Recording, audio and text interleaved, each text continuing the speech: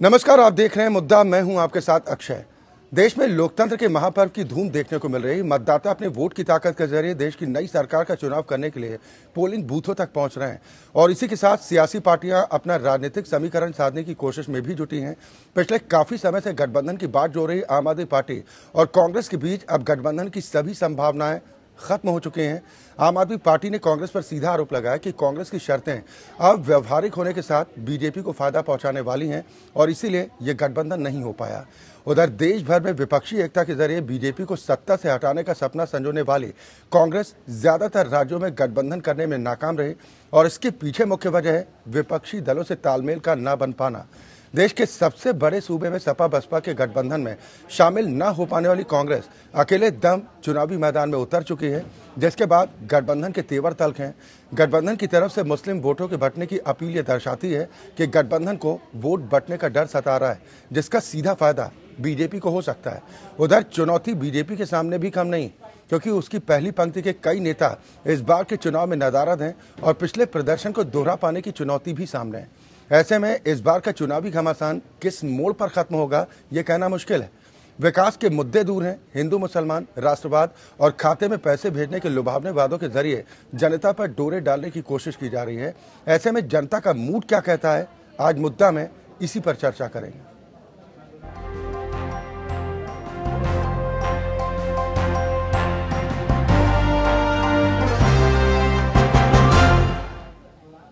कांग्रेस का दिल्ली में आम आदमी पार्टी और उत्तर प्रदेश में सपा बीएसपी से गठबंधन नहीं हो पाया। माना यह जा रहा है कि इसका सीधा फ़ायदा बीजेपी को मिलेगा। उम्मीद थी कि इस चुनाव में विपक्षी एकजुटता देखने को मिलेगी, लेकिन विपक्षी नेताओं जैसे मायावती, अखिलेश और ममता बनर्जी के निजी स्वार्थों के कारण और कांग्रेस की दूरदर्शिता की कमी की वजह से ऐसा नहीं हो पाया। उधर बीजेपी भी बुनियादी मुद्दों से भटक गई है और उसके नेताओं ने अपनी रैलियों में वोट की खातिर पाकिस्तान और हिंदू कार्ड का जमकर इस्तेमाल किया। ऐसे में जनता किसका साथ देगी और किसके सिर पर ताज होगा, ये तो अब चुनाव के नतीजे ही बताएँगे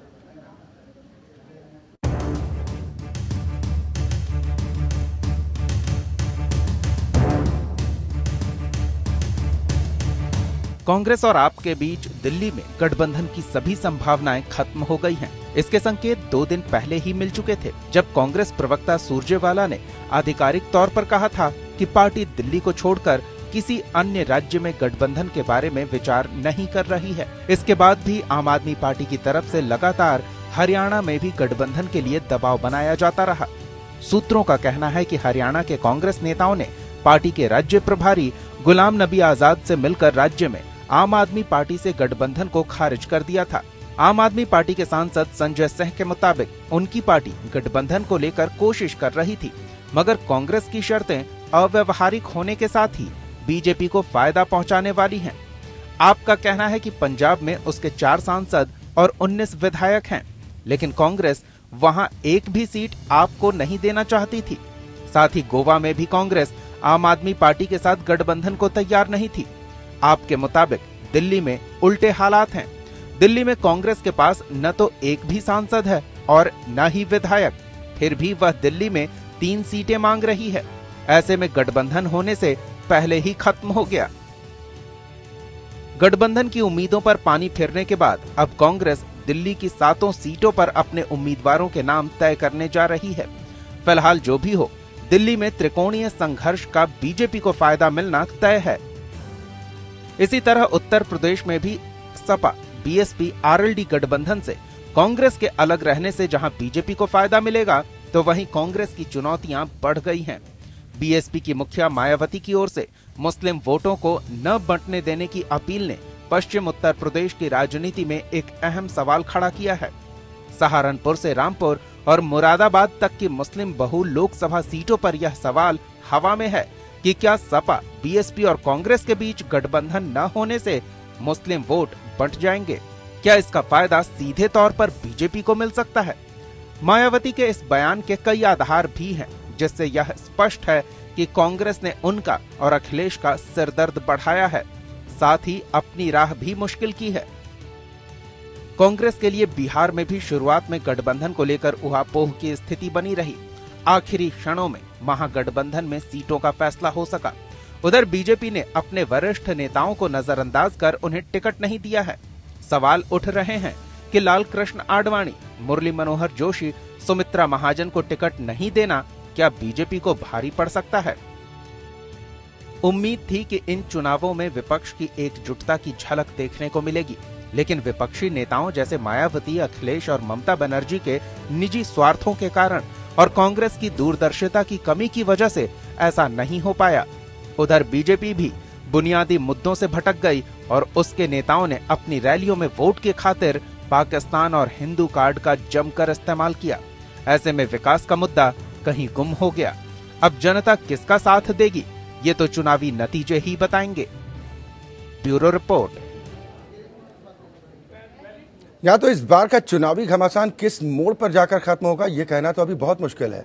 लेकिन विकास के मुद्दे इन चुनावों में दूर हैं। हिंदू, मुसलमान, राष्ट्रवाद और खाते में पैसे भेजने के लुभावने बातों के ज़रिए जनता पर डोरे डालने की कोशिश ज़रूर की जा रही है, लेकिन जनता पर इसका कितना प्रभाव पड़ेगा और वो किस पर भरोसा करेगी? आज हम इसी को समझने का प्रयास करेंगे। सभी खास मेहमान हमारे साथ जुड़ चुके हैं। सबसे पहले अपने दर्शकों की मुलाकात अपने आज के सभी सम्मानित अतिथियों से। नोएडा स्टूडियो से मेरे साथ कांग्रेस पार्टी का प्रतिनिधित्व करने के लिए अजय उराला जी हमारे साथ इस कार्यक्रम का हिस्सा है। लखनऊ से तीन खास मेहमान हैं। भारतीय जनता पार्टी की प्रवक्ता अनिता अग्रवाल जी हमारे साथ इस कार्यक्रम में शामिल हैं। समाजवादी पार्टी को रिप्रेजेंट करने के लिए पार्टी के प्रवक्ता जितेंद्र सिंह जीतू हमारे साथ कार्यक्रम का हिस्सा हैं।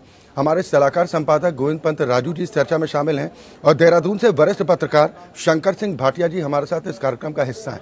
बहुत स्वागत है आप सभी का हमारे साथ इस कार्यक्रम में शामिल होने के लिए। शुरुआत अजय अरोड़ा जी मैं आपसे ही करना चाहूँगा, क्योंकि तमाम कोशिशों के बीच गठबंधन की उम्मीदों पर पानी अब पूरी तरह से फिर चुका है, लेकिन इसके लिए आम आदमी पार्टी ज़्यादा जिम्मेदार है या फिर कांग्रेस?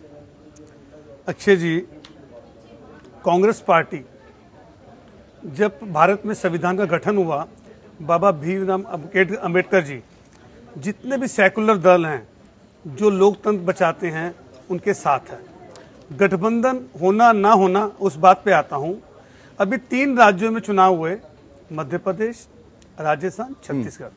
पहले चर्चा था गठबंधन होगा तो किसी मुद्दों पे हमारा गठबंधन ही हुआ और तीनों राज्यों में हम जीत के आए और बाद में उनका सहयोग मिला हमें तो ये कहना कि गठबंधन नहीं हुआ कांग्रेस का औचित्य नहीं है हाँ। विचार हमारे विचार अधिकांश मिलते हैं हाँ। किसी किसी विचार में हो सकता है विचार ना मिले हम्म। और हो सकता है कि चुनाव के बाद तेईस मई को हमारे विचार मिल जाए हम्म। ऐसा संभव है बिल्कुल भी हम्म, लेकिन मौजूदा परिस्थितियों में जो एक मैसेज आप लोग देने की बात कर रहे थे कि एक मज़बूत गठबंधन के ज़रिए हम बीजेपी को सत्ता से हटाने में कामयाब होंगे आपको नहीं लग रहा है कि महत्वाकांक्षा ने दोस्ती को परवान चढ़ने नहीं दिया फिर आगे चलकर दिक्कत नहीं होगी इस बात से कैसे इनकार कर नहीं ऐसा नहीं है हाँ। गठबंधन चलाना तो हमारे भारत के पूर्व प्रधानमंत्री डॉक्टर मनमोहन सिंह ने 10 हाँ। साल सरकार चलाई गठबंधन की हाँ, और बिहार के अंदर नीतीश कुमार जी और नरेंद्र भाई मोदी जी मोदी जी ने एक बार कहा था कि बिहार वासियों के डीएनए की बात की हाँ।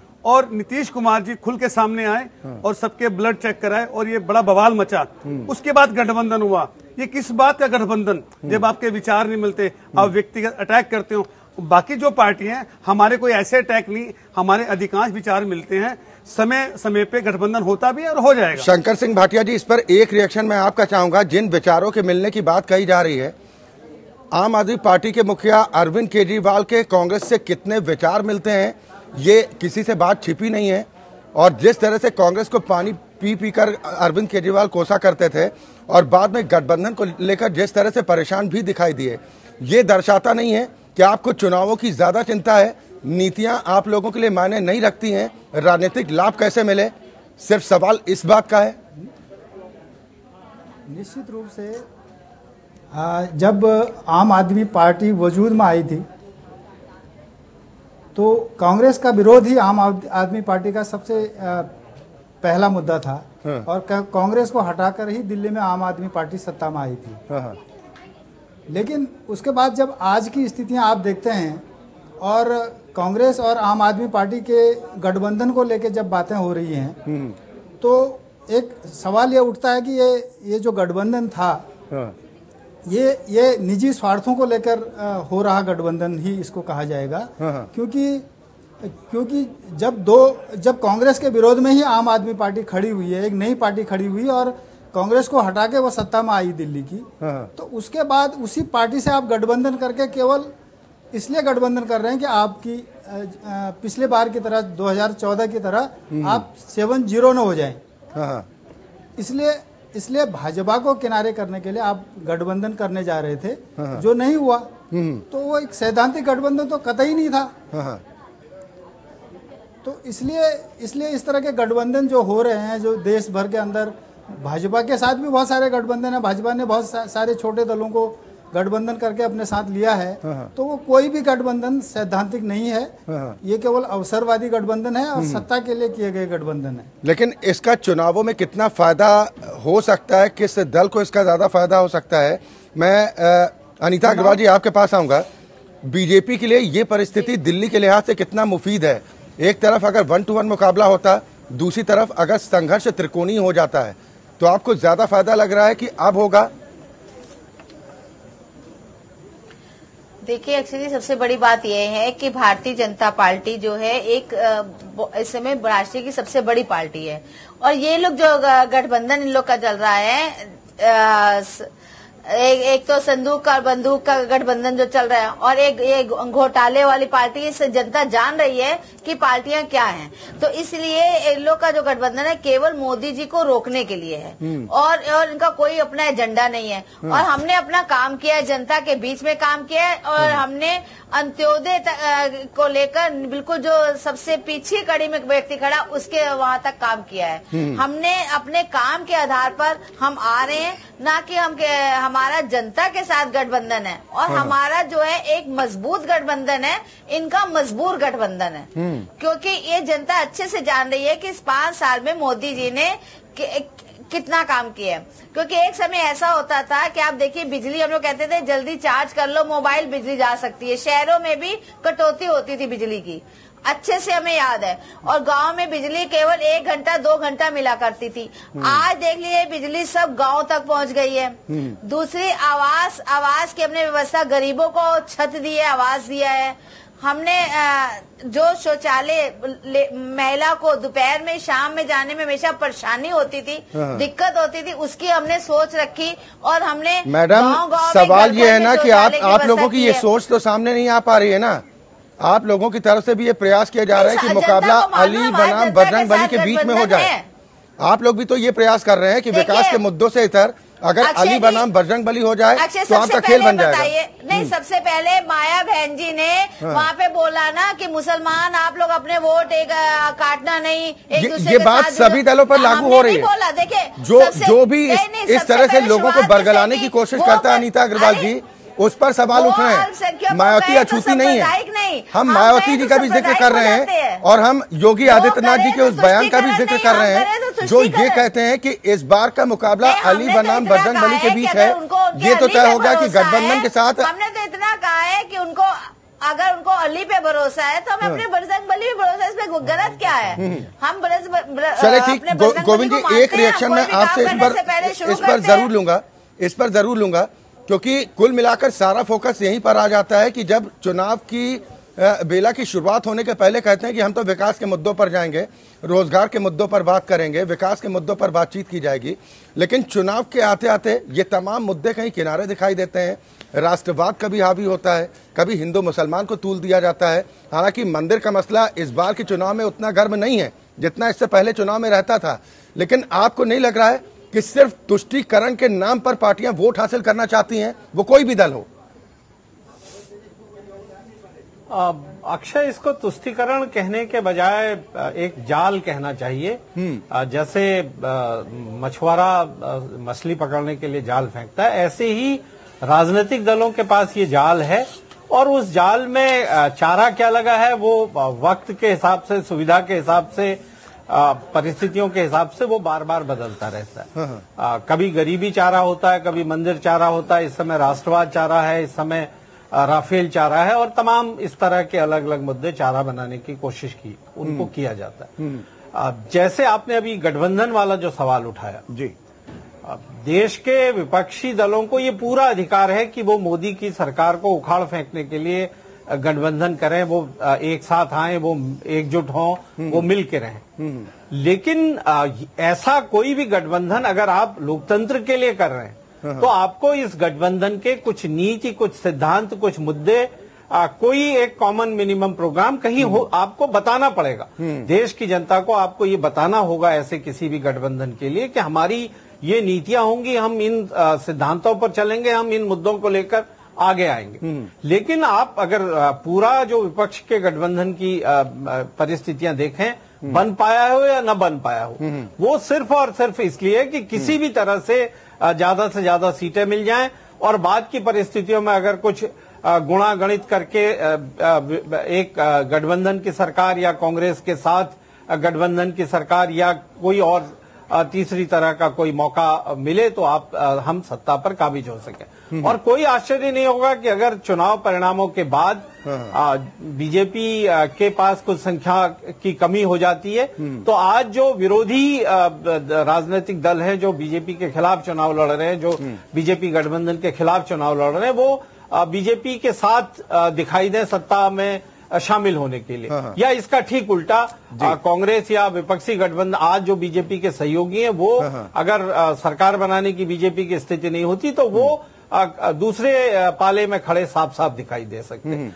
तो मूलतः अगर आप देखें तो इस तरह का कोई भी गठबंधन वो जनता के साथ धोखा है वो लोकतंत्र के साथ धोखा है। गठबंधन करने का हर राजनीतिक दल को अधिकार है लेकिन कम से कम आप जिन मुद्दों पर आप अपनी राजनीति करना चाहते हैं जिन मुद्दों पर देश को आगे ले जाना चाहते हैं उसमें कहीं कोई एक एक तो बिंदु ऐसा हो जहाँ पर आप बराबर साथ खड़े दिखाई दें। आप एक दूसरे के खिलाफ चुनाव लड़ते हैं एक राजनीतिक दल को बिल्कुल निकम्मा बिल्कुल देश का विरोधी समाज का विरोधी भ्रष्टाचार का जनक और इस तरह का तमाम कहकर आप उसको उखाड़ फेंकने के साथ राजनीति में आते हैं और उसके बाद आप उसी राजनीतिक दल से हाथ मिलाकर दोस्ती करने की कोशिश करते हैं। तो ये राजनीतिक दलों के लिए इससे लाभ उनको भले ही होता हो। जी, जी। उनको सत्ता मिल जाती है उनको सुविधाएँ मिल जाती हैं लेकिन ये जनता और लोकतंत्र दोनों के साथ चले बिल्कुल सवाल नैतिकता पर उठते हैं और ये भी कहते हैं कि क्या राजनीतिक दलों के लिए सिर्फ़ मौका परस्ती ही प्रमुख एजेंडा रहता है? कि मौका मिले किसी तरह से सत्ता पर काबिज होने का। मैं जीतू आपके पास आऊँगा। आम आदमी पार्टी की तरफ़ से जो आरोप लगाया गया, सीधा ये कहा गया कि कांग्रेस की फितरत सिर्फ़ खुद के फ़ायदे की रही है। वो पाना तो सब चाहती है, लेकिन अपने सहयोगियों के साथ कुछ शेयर करना नहीं चाहती है। आप, इन आरोपों में आपको लगता है कि दम है आम आदमी पार्टी के?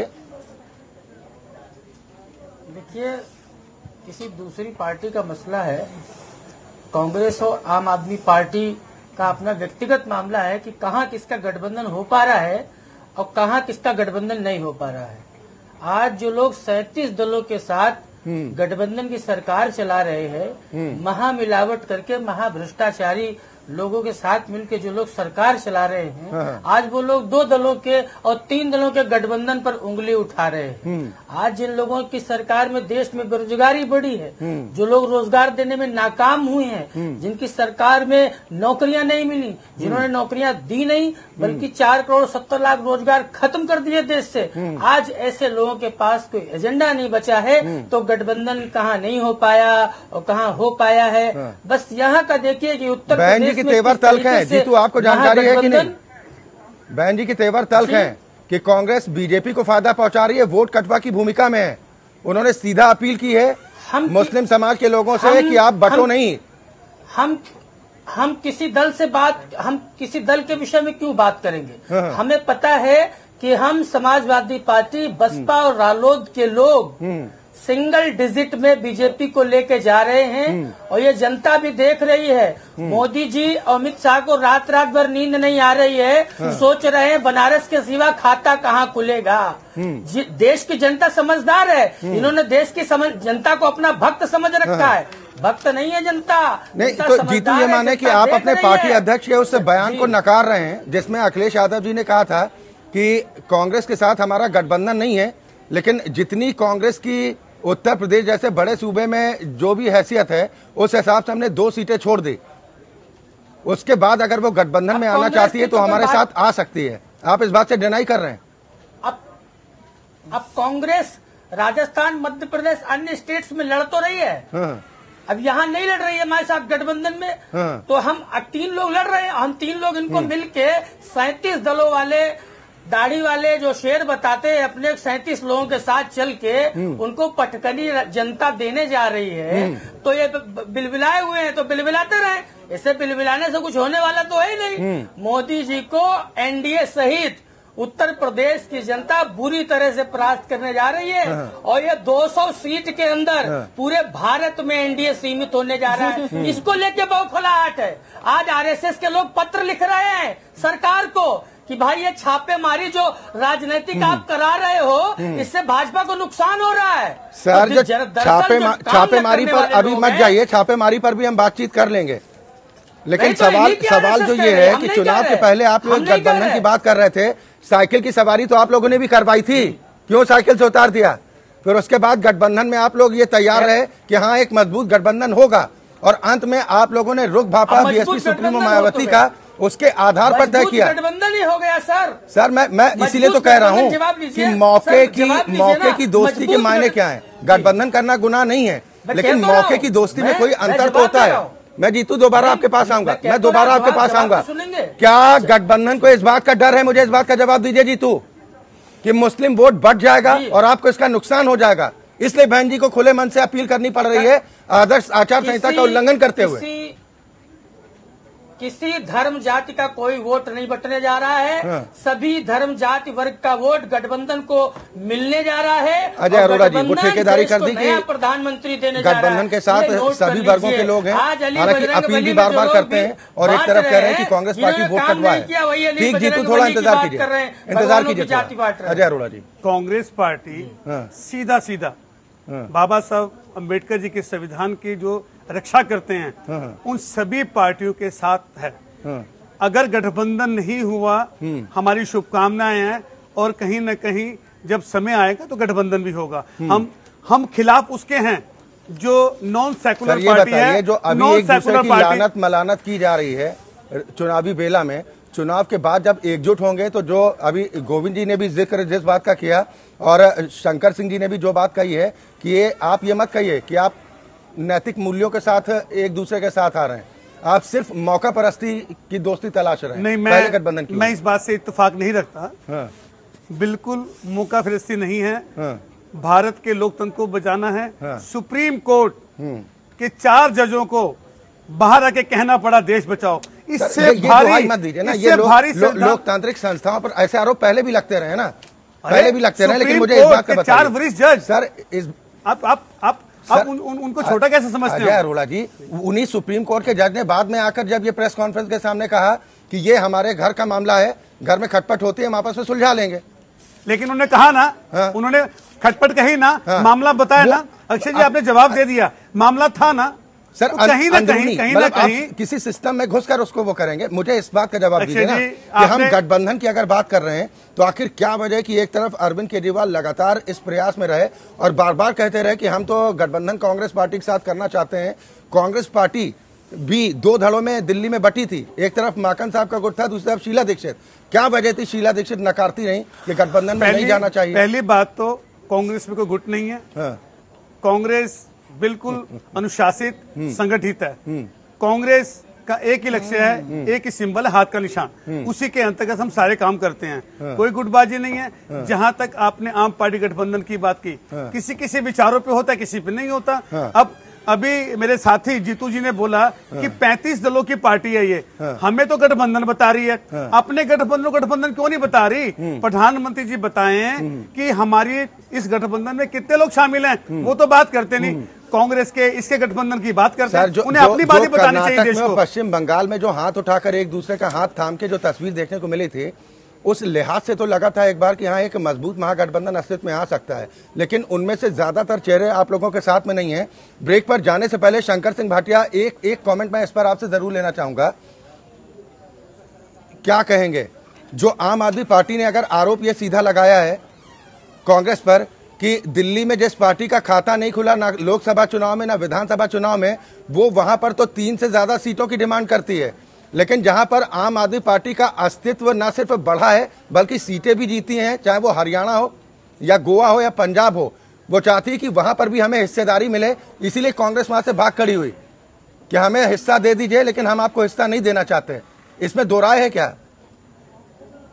बिल्कुल, इसमें दो नहीं है। वो चूँकि ये बात इसलिए बाहर आई कि दोनों पार्टियों के बीच गठबंधन अंतिम रूप नहीं ले पाया। इसलिए ये बात बाहर आई और आम आदमी पार्टी ने अपनी बात कह दी। हम्म। लेकिन गठबंधन ये बात भी साफ़ थी कि दोनों पार्टियों के बीच गठबंधन की बात हो रही थी। हम्म। काफ़ी हद तक आगे बढ़ गई थी। लेकिन गठबंधन की जहाँ तक बात है तो आप बीजेपी को देखेंगे बीजेपी के पास बिहार में 22 सांसद थे हम्म। और वो 17 पे आ गई। गठबंधन के लिए एक किसी को झुकना पड़ता है तब जाके गठबंधन होता है। जी। लेकिन कांग्रेस ने वो वो झुकाव कहीं नहीं दिखाया है आप आप आप दूसरे राज्यों में भी देख लीजिए हाँ। इसलिए इसलिए बिहार में शायद उनका गठबंधन हो गया हाँ। लेकिन यूपी में एमपी में या दूसरे राज्यों में उनका गठबंधन नहीं हुआ क्योंकि वो झुकना नहीं चाहते थे हम्म। वो राजनीतिक लाभ लेना चाहते थे जी। इस इस मौके का हम्म। और वो झुके नहीं तो इसलिए उनका गठबंधन नहीं हो पाया हम्म। तो ये तो एक तरह से पॉलिटिकल पार्टीज़ की जो सोच है कि उन्हें करना क्या है इससे? हाँ, लेकिन अभी भी जिस तरह की उम्मीद जताई जा रही है हम बात करें चुनावी घमासान की पहले चरण की वोटिंग की जा रही है दूसरी तरफ़ तमाम वो रणनीतियाँ भी बनाने के प्रयास किए जा रहे हैं ताकि चुनाव में फ़ायदा हो पाए लेकिन इसमें किसी को सफलता मिलती दिखाई देती है तो कोई अपनी इस कवायद में धराशायी होता भी दिखाई देता है। कुल मिलाकर घमासान दिलचस्प है और सभी खास मेहमान हमारे साथ बने हैं। मैं गोविंद जी एक रिएक्शन आपका इस पर ज़रूर लूँगा। क्योंकि देश के सबसे बड़े सूबे पर सभी की निगाहें टिकी हुई हैं और आज उत्तर प्रदेश में आठ सीटों पर, पश्चिमी उत्तर प्रदेश की आठ सीटों पर जो पोलिंग चल रही है, जिनमें कई ऐसे इलाके हैं जो मुस्लिम बाहुल हैं, यानी कि मुस्लिम वोटर ये ताकत रखता है चुनाव की दिशा को मोड़ने का। क्या यही डर था बीएसपी सुप्रीमो को, जिसके बाद उन्हें अपील करनी पड़ी नियम कायदों की धज्जियाँ उड़ाते हुए क्या आप बहके नहीं इधर उधर बटे नहीं देखिए अक्षय जो एसपी बीएसपी का गठबंधन है उसके सामने कई तरह की चुनौतियाँ हैं बीएसपी का प्रदर्शन अगर पिछले लोकसभा चुनाव में देखें तो शून्य था हम्म। विधानसभा चुनाव में भी बहुत संतोषजनक नहीं था इस इलाके में भी बहुत उत्साहजनक नहीं था हाँ। समाजवादी पार्टी विधानसभा का एक चुनाव हारी है और पिछले लोकसभा चुनाव में भी उसको। इन इस जहाँ की आप बात कर रहे हैं उस इलाके में एक भी सीट उसे नहीं मिली थी हम्म। उपचुनाव हालाँकि उनके पक्ष में गया था लेकिन उपचुनाव की परिस्थितियाँ बिल्कुल अलग थी हम्म। तो ऐसे में सपा और बसपा दोनों के सामने वो किन मुद्दों को लेकर जनता के बीच में जाए ये बड़ा सवाल था हम्म। बीएसपी के पास आ, कुछ भी बताने को नहीं है। उत्तर प्रदेश की सत्ता से वो काफ़ी समय से बाहर है। हम्म। और आ, केंद्र की सत्ता में वो फ़िलहाल है नहीं। हम्म। तो जनता के बीच में वो अपनी उपलब्धियाँ या अपनी नीतियाँ या अपनी बात उसके पास कहने को कुछ नहीं हम्म। सिवाय इसके कि वो जाति के आधार पर लोगों को संगठित करे धर्म के आधार पर लोगों को अपने पाले में आने की बात करे। और कुछ कुछ ऐसा ही समाजवादी पार्टी के पास भी है क्योंकि उसकी जो सरकार थी उसकी जो नीतियाँ थी वो पिछले पाँच साल सत्ता में उन्होंने जो कुछ भी किया विधानसभा चुनाव में जनता ने उसको हम्म। ठुकरा दिया था जी तो ऐसी परिस्थिति में दोनों राजनीतिक दलों के पास जनता के बीच में जाने के लिए बहुत कुछ कहने की बात नहीं हम्म। बीजेपी के पास उत्तर प्रदेश की सत्ता केंद्र की सत्ता उसमें जो भी उसने कहा है किया हम्म। है उसके दावे उसके जो हैं वो बात कहने के लिए उसके पास अवसर है कांग्रेस के पास राष्ट्रीय पार्टी होने के नाते ये अवसर है कि वो कह सकती है कि हमारा देश को लेकर एक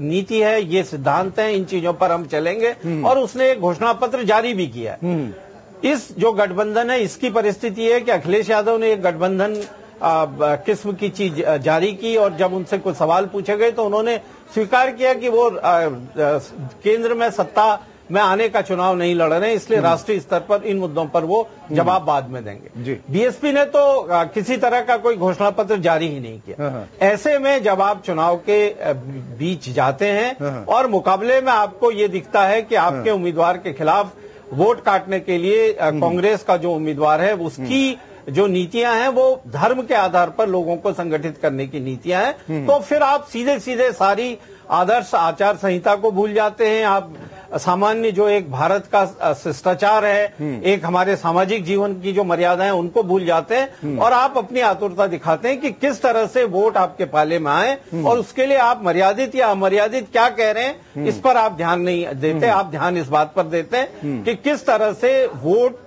और समझाने की कोशिश करते हैं कि भाई ऐसा मत करिए ऐसा करेंगे तो आपको ये नुकसान हो जाएगा। और ये हमने देखा है इन चुनाव में।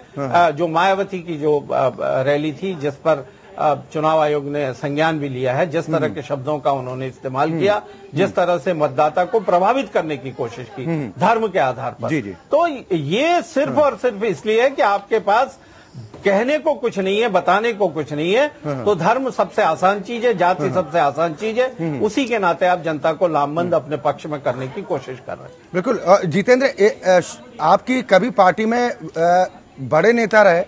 शिवपाल सिंह यादव हालाँकि अब अपनी नई पार्टी बना चुके हैं। उन्होंने भी कई बार इस तरह का संदेश देने की कोशिश की है कि समाजवादी पार्टी के मौजूदा मुखिया अखिलेश यादव ने अपने ईगो के चक्कर में पहले तो अपनी पार्टी के दो टुकड़े कर दिए। और कभी अपना कैडर वोट रहा मुस्लिम समाज भी बहन जी को समर्पित करा है। वो सीधा ये आरोप लगा रहे हैं कि अखिलेश यादव समाजवादी पार्टी को खत्म कर रहे हैं। कहीं कहीं ये, ये नुकसानदेह तो नहीं होगा? इन बातों का तो कोई मतलब ही नहीं है। और हाँ। इन बातों का शायद कोई उत्तर भी देना मैं उचित नहीं समझता हूँ। हम्म। इतना समझ लीजिए हाँ। जो लोग आज रोज़गार की जिनको बात करनी चाहिए हाँ। जिन लोगों को देश में नौकरी देने का जिम्मा था हाँ। जिन लोगों को स्वास्थ्य चिकित्सा बिजली पानी महिला सुरक्षा पर बात करनी चाहिए वो लोग आज किसकी बात कर रहे हैं? अली बजरंग बली की। हाँ। प्रधानमंत्री शुरुआत कौन कर रहा है जीतू चुनाव शुरुआत किसने की? चुनाव आयोग ने संज्ञान लिया है। शुरुआत प्रधानमंत्री की भाषा आज़ाद भारत में सबसे जीतू, सुन तो लीजिए। ऐसे प्रधानमंत्री सुन तो लीजिए, जो सुन तो लीजिए। जो ईद ईद और होली हाँ। है और बकरीद और तमाम त्योहारों में भेद करने वाले व्यक्ति हैं। हम्म। आज काम बताने को नहीं तो अली बजरंग बली गए तो तेलंगाना थे। नहीं तो इसीलिए अब गठबंधन को लगता है कि उन्हें सिर्फ़ मुस्लिम वोटों का सहारा है। आपको ये लग रहा है कि सिर्फ़ तो मुस्लिम वोट हमारे हिस्से आ जाएगा तो हम सरकार तो बना ले जाएँगे। नाराज़ है। जितेंद्र अब दो शब्दों सवाल तो सुन लीजिए। सवाल तो सुन लीजिए। अरे भाषण देने के लिए नहीं आमंत्रित किया मित्र। मित्र भाषण के लिए आमंत्रित नहीं किया है। ये चुनावी मंच नहीं है। नहीं नहीं वही बता रहा हूँ। थोड़ा सा धैर्य रखिए। मुझे मुझे इस बात बात का जवाब दीजिए ना। आप लोगों ने कोई मिनिमम अपना कोई कॉमन मिनिमम एजेंडा तैयार किया कि अगर हम सत्ता में आएँगे? हालाँकि सत्ता में आना आपको लग रहा है कि सैंतीस अड़तीस सीटों पर चुनाव लड़ने वाली पार्टियाँ देश की सत्ता पर काबिज हो जाएँगी फिर भी मैं आपसे जानना चाहता हूँ कि आप लोगों ने क्या इस बात का ज़िक्र किया है कि आप कितना रोज़गार देंगे? आप महिलाओं की सुरक्षा कैसे देंगे? आप कानून व्यवस्था को कैसे बेहतर लाएँगे? जो हिंदू मुस्लिम की बात आप कर रहे हैं वो वो ना हो। उसको लेकर क्या करेंगे? आपके पास कोई एजेंडा है? अखिलेश बिल्कुल सुन लीजिए अखिलेश यादव जी ने सबसे पहला कमेंट किया हाँ। कि हम देश को नया प्रधानमंत्री देने जा रहे हैं। उन्होंने कभी नहीं कहा कि हम प्रधानमंत्री बनने जा रहे हैं। कौन अखिलेश यादव बनेंगे? चेहरा कौन होगा? बताइए ना। भाई आप ही बोले नो दिस इज़ नॉट सुनिए ना। नो इंटरेक्ट मेरे उत्तर सुनिए ना। नहीं या तो आप चाहते पब्लिक सुने ना। ना ना। जीतेंद्र तो मेरी बात सुनिए ये ये ये भाषण का मंच नहीं है ना? कि जहाँ पर आप अपना भाषण समाप्त होने तक बोलेंगे। सुनिए ना जितेंद्र। थो- थोड़ी बहस की मर्यादा समझिए। बहस की मर्यादा मैं टोकूँगा। ये मेरा मतलब अधिकार है जितेंद्र सिंह जहाँ पर मुझे तो शंका होगी मैं सवाल उठाऊँगा। अगर आपको समझ आता है तो जवाब दीजिए वरना आप चुपचाप भी बैठे रह सकते हैं। अगर आपको जवाब। नहीं देना है तो मैं दोबारा आपके पास आऊँगा। बिल्कुल अगर आप जवाब देना चाहते हैं तो मैं मौका दे रहा हूँ। एजेंडा नहीं सुना। अगर आप मेरे सवाल का जवाब देना चाहते हैं तो मैं आपको मौका दूँगा वरना आप आराम से बैठ सकते हैं पानी पीजिए चाय पीजिए आराम से। नहीं बिल्कुल बैठूँगा मैं। मैं डिबेट ही छोड़ के चला जाऊँगा आपकी। सर ये आपकी ये आपका अधिकार है। हम हम आपसे सवाल करेंगे लेकिन आप सवाल का जवाब नहीं देंगे इधर उधर की बात करेंगे तो मैं आपको टोकूँगा। दे रहा हूँ आप इंटरप्ट कर रहे हैं। मुद्दे पर आइए। सर जहाँ पर आप गलत दिशा में जाएँगे मैं टोकूँगा। मैं वही ये अधिकार मेरा आप नहीं छीन सकते। आप सुनिए मेरी बात हाँ तो सीधे मुद्दे पर आइए। सुनिए। हाँ सीधे मुद्दे पर आइए। कहा कि हम प्रधानमंत्री के दावेदार नहीं हैं हम देश को नया प्रधानमंत्री देने जा रहे हैं। हम जो प्रधानमंत्री बनाएँगे हाँ। हमारा घोषणा पत्र है कि देश के किसानों का सौ प्रतिशत कर्ज माफ़ कर देंगे। हमारी सरकार आएगी सौ नंबर जैसी सुविधा। पूरे देश में लागू करेंगे। हम दस नब्बे जैसी सुरक्षा महिला के लिए जो सुविधा है पूरे देश में लागू करेंगे। हम पुरानी पेंशन देश में लागू करेंगे बहाल करेंगे जो अटल जी ने खत्म कर दी थी। आज जब ये लोग बौखलाए हुए हैं तो मीडिया भी उनके साथ हो गया। मीडिया को प्रश्न करना चाहिए उसका। उत्तर सुनने की क्षमता रखनी चाहिए। आज है। प्रधानमंत्री कि जब जब आपको सवाल चुनने लगते हैं तो सीधे जब मैं जवाब दे सबको रहा आप किसी न किसी तो से जोड़ दीजिए। के बीच में ये- ये- ये ये तो आप आप लोगों का ही नहीं चलता नहीं बात। जितेंद्र ये आप लोगों की बौखलाहट दर्शाते हैं। आप- आप लोगों की बौखलाहट दर्शाती है कि आप लोग कितना परेशान हो चुके हैं। अब थोड़ा धैर्य रखिए। मैं अनिता अग्रवाल जी आपके पास आऊँगा। अक्षय जी हम जवाब देना मैं आपके पास आऊँगा। हाँ। आप लोगों ने जब 2014 में आए थे उत्तर प्रदेश को लेकर जो वादे किए थे संकल्प पत्र के माध्यम से उन संकल्प पत्र के माध्यम उसका सच भी सामने आ रहा है कि जितने वादे किए थे उनमें से ज़्यादातर वादे पूरे नहीं हुए जनता फिर आप पर क्यों भरोसा करेगी देखिए अक्षय जी सबसे पहले इनकी घोषणा पत्र के विषय में मैं बता दूँ देखिए बहुजन मैडम, समाजवादी संकल्प पार्टी ने की बात कीजिए। घोषणा पत्र- उनका घोषणा पत्र तो हम जान रहे हैं। संकल्प इसके बाद पहले हाँ। नहीं नहीं पहले हम जवाब दे दें उनका पहले उसका जवाब दे देखिए मायावती जी ने कोई घोषणा पत्र नहीं जारी किया। हाँ। और जो समाजवादी ने घोषणा पत्र जारी किया है मायावती साहब का हम उसको नहीं मानेंगे। अब इनका गठबंधन है। लखनऊ में घोषणा पत्र इनका लागू होगा मोहनलालगंज में लागू नहीं होगा। अब आप बताइए इनका घोषणा पत्र का वही अस्तित्व खत्म हो जाता है जब इनका दूसरा गठबंधन उसको मानने को तैयार ही नहीं है। हाँ। अब आप ये ये ये केवल इनकी बंदूक और संदूक का गठबंधन है ये सब जान रहे हैं। और आपने जो हमसे संकल्प पद की बात की है उसका मैं अब जवाब दे रही हूँ। हाँ। आप ये बताइए हमने रोज़गार के लिए किसानों की आय दोगुनी हो गई हाँ क्या? किसानों की आय हमने डेढ़ गुना सिटी बन गया क्या? जितेंद्र सुन तो लीजिए उन्होंने आपके बीच में नहीं टोका उनको तो धैर्य पूरा सुन लीजिए फिर मैं दोबारा आपके पास आऊँगा। आप शांति से सुनेंगे। दो हज़ार चौदह का घोषणा पत्र। है, तो जितेंद्र जितेंद्र मैं आपसे आग्रह कर रहा तो हूँ फिर आपको बुरा लगेगा कि आपके बीच में टोक दिया। कृपया कृपया थोड़ा संयम बनाए रखिए ना। एक एक एक अच्छे वक्ता की निशानी ये है कि उसको अच्छे वक्ता के साथ अच्छा श्रोता होना चाहिए। इस बात पे थोड़ा अमल कीजिए अच्छा रहेगा आपके लिए। थोड़ा धैर्य रखिए। तो मैं ज़रूर कहूँगा। आपने बहुत सही बोला है। है।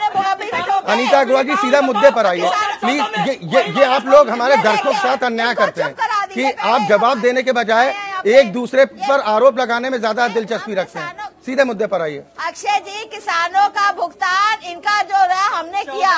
डेढ़ गुना हमने किसानों की आय आज दो हज़ार रूपए महीना किसानों को मिल रहा है और हमने किसानों के लिए लोन के लिए कहा उनको ब्याज नहीं मिलेगा आज किसानों का गन्ना की जो इन्होंने चीनी मिले बंद करा दी थी। वो चीनी हाँ। मिले हमने शुरू कराई। हाँ, हाँ। इन्होंने अपना कोई भुगतान नहीं किया। ये हो, हमारे ये किसानों की मुख्यमंत्री ने साफ़ साफ़ कहा है मुख्यमंत्री जी ने साफ़ साफ़ कहा है कि समाजवादी पार्टी गन्नों का किसानों का ऋण नहीं दे पाई। 14,000 उनका ऋण करोड़ बाकी है। उनका ऋण झूठ उनका ऋण हमने दिया आपने बकाया नहीं चलिए ये किसानों से बेहतर कौन जानता होगा?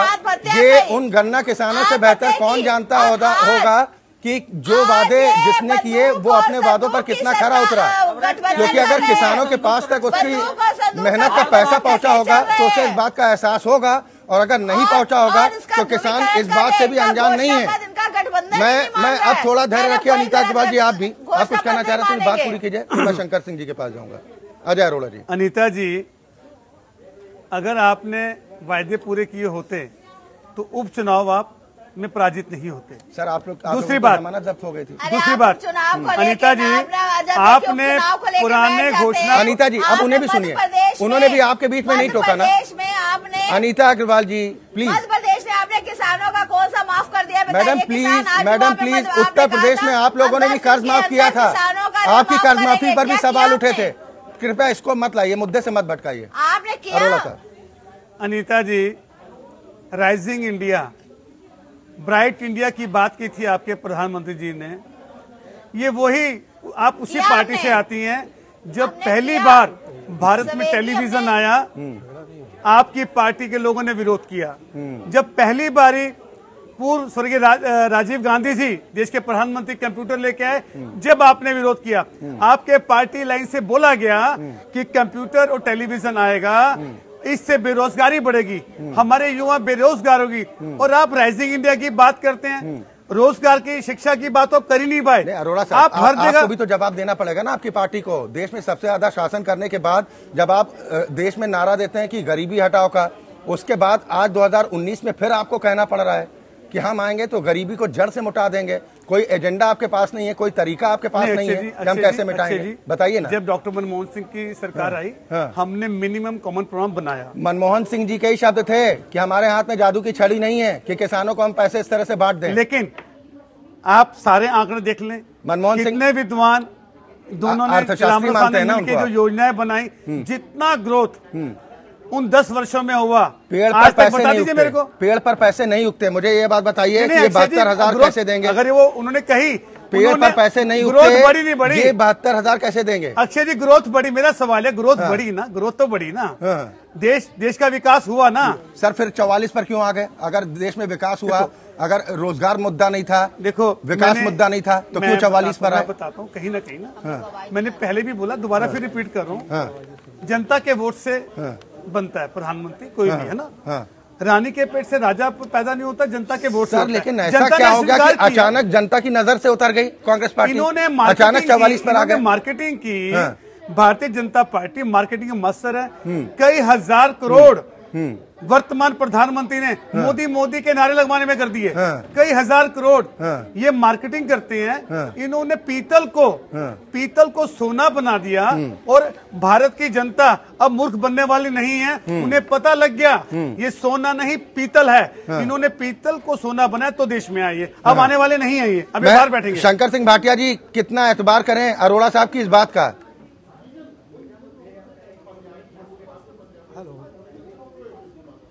ये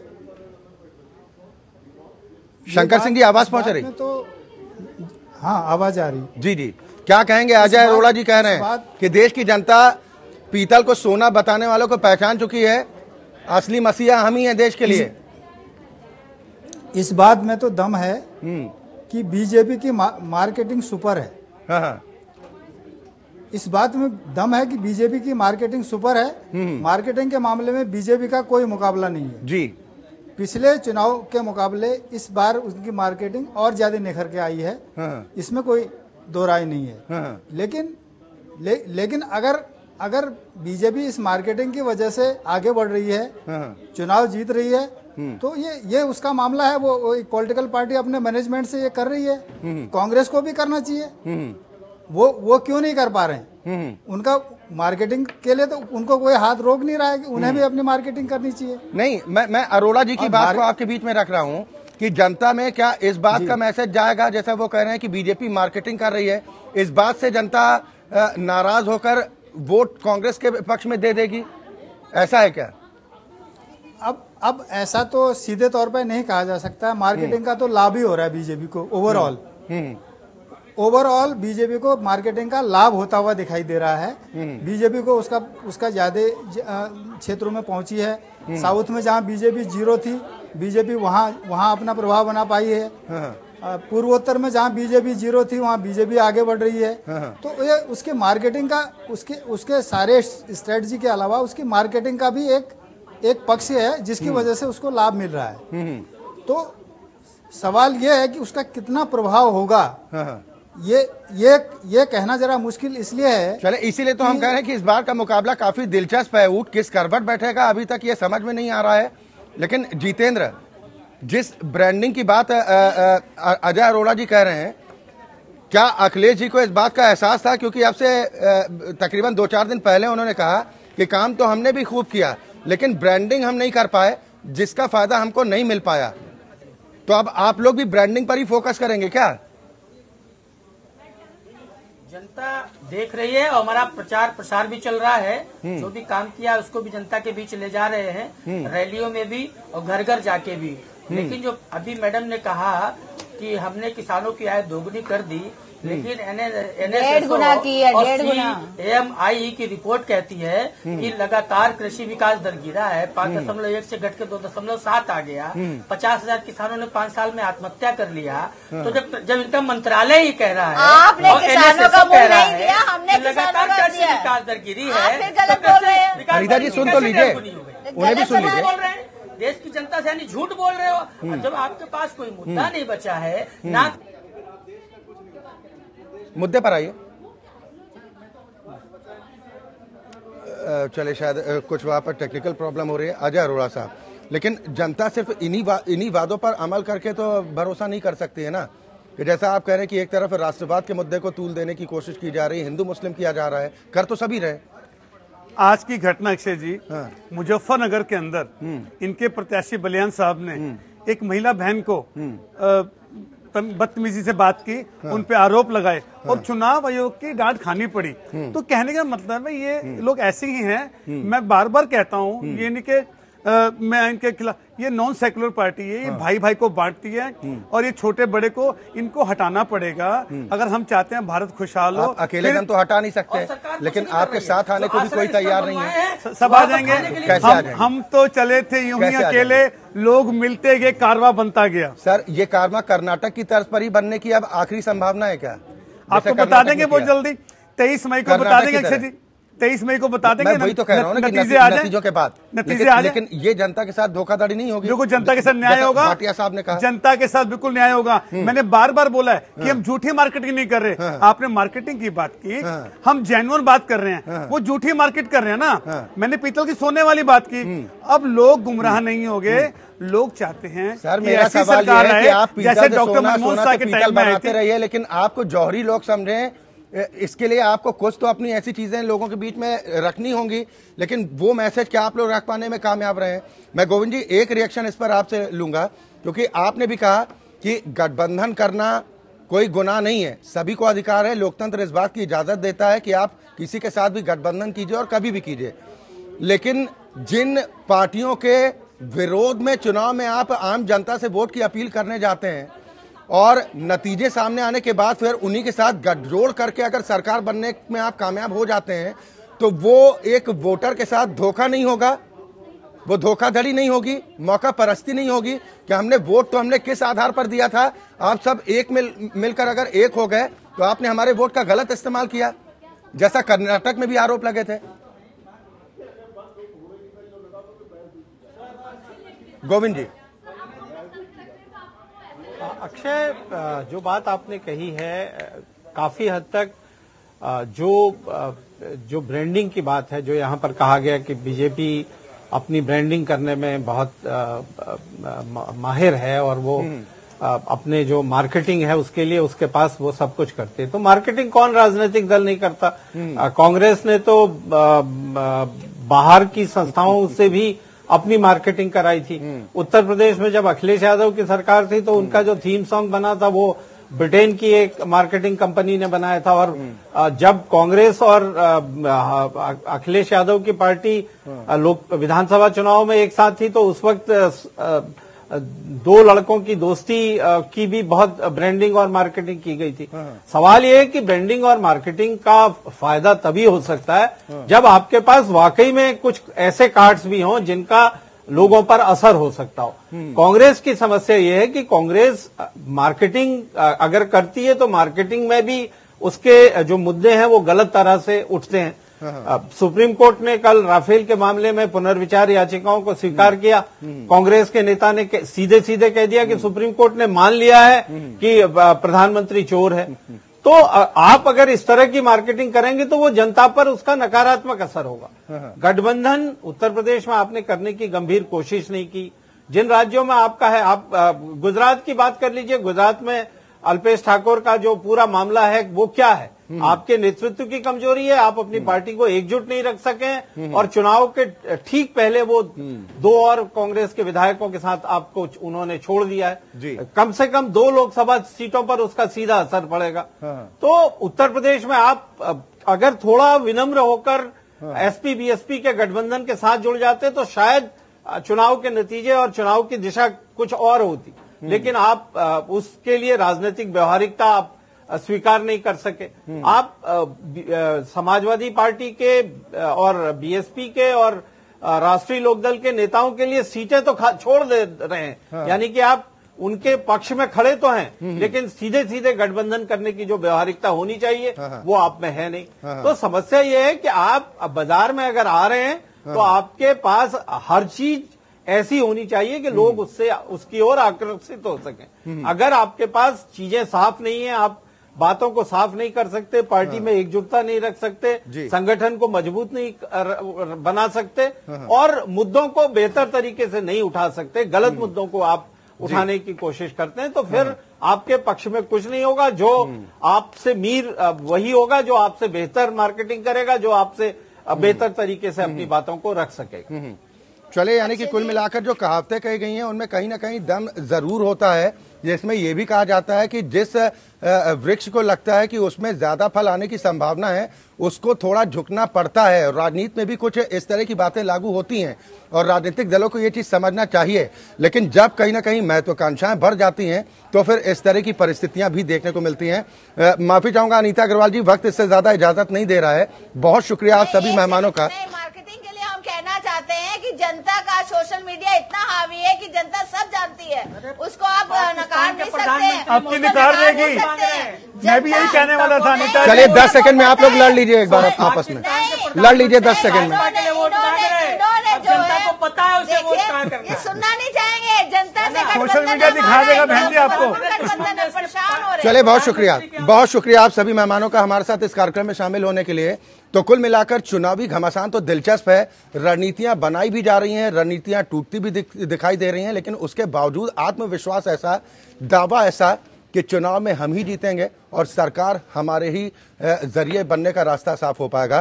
खैर अब गेंद जनता जनार्दन के पाले में इंतज़ार तेईस मई तक का है और उसके बाद नतीजे साफ़ हो जाएँगे और पता चलेगा कि जनता का भरोसा जीत पाने में कौन सा दल कामयाब रहता है। इसी के साथ मुद्दा में आज के लिए बस इतना ही। खबरें लगातार जा जारी।